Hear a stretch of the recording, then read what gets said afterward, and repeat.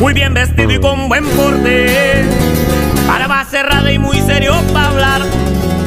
Originario de la presa de San Martín de Porres, la San May de los mejores para el fútbol, siempre escuchando un corridón, disfrutaba de unas heladas, aunque no hiciera calor de apodo, le decían el chuche y en la calle es el nariz. Les voy a contar de principio a fin.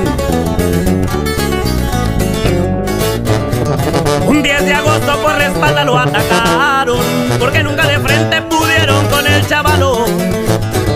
No hablaré de venganza porque el que habla mucho poco acciona. Jesús Eduardo Negrete, recuerdos en la memoria. Y ya no se verá la esquina con el rifado. Y así suena José Costi, los tremendos.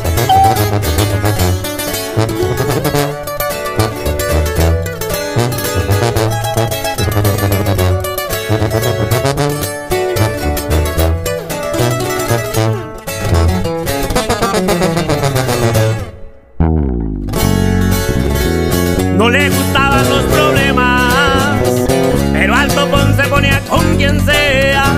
Su novia lo lleva tatuado, en el brazo izquierdo también sus fechas. Por muchos era envidiado, también muchos lo querían, era amigo del amigo y pilar de su familia. Su padre acá le canta, se le extraña y lo recuerda como el gran hijo que era. Un 10 de agosto por la espalda lo